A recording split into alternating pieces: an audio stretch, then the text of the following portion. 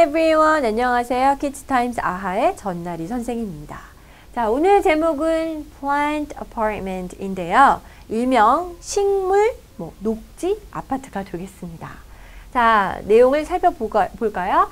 The Italian architect Stefano Boretti is working on building a vertical forest입니다.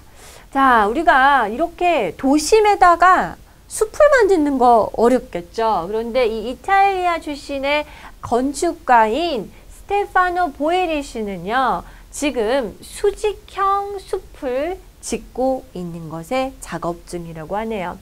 It is his second 36-story apartment building covered by plants in Lausanne, Switzerland. 야, 스위스에 왠지 어울리는 것 같습니다. 자, 이 건물로 말할 것 같으면 벌써 첫 번째도 아니고요. Not his first, but his second. 자, 두 번째이고요. 36층의 아파트 빌딩인데요. 이 빌딩의 특징이 바로 이 뒤에 나와 있죠.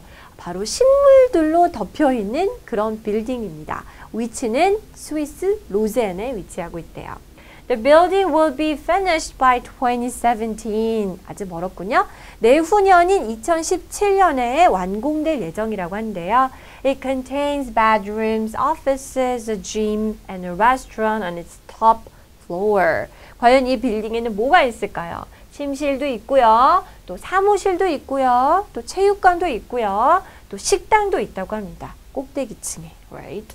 Boyari uses 100 cedar trees, 6,000 shrubs, and 18,000 of other plants to construct this building.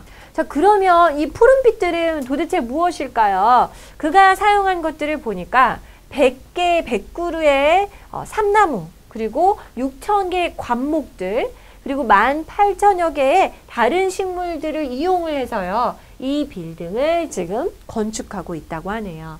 He combines plants and architecture to improve the city's air quality. 이거는 단순히 화재만을 위한 것은 아니겠죠.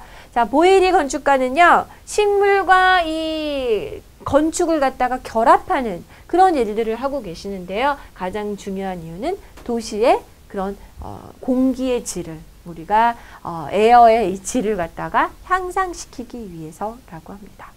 우리나라도 요즘에 미세먼지 때문에 많은 그런 고생을 하고 있는데 이런 나무를 많이 심을 수 있는 그런 일들을 벌였으면 좋겠습니다.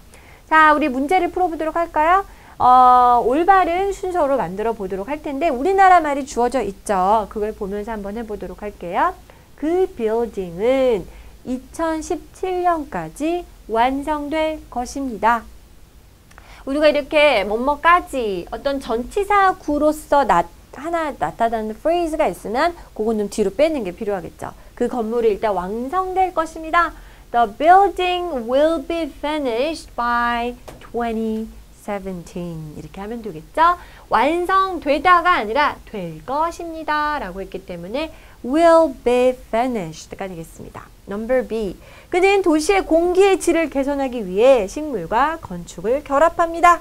식물과 건축을 결합합니다. combine A and B를 이용하면 되겠죠. It combines plants and architecture. Why? To improve the city's air quality. The city's air quality. That's right.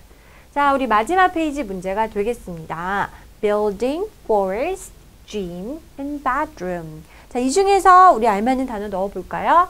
The family enjoyed the city view from the top floor of 자, 이렇게 높이 솟아있는 이런 건축물을 우리가 당연히 building이라고 하죠. 이 빌딩에서도 꼭대기층에서 view를, 전망을 감상하고 있습니다.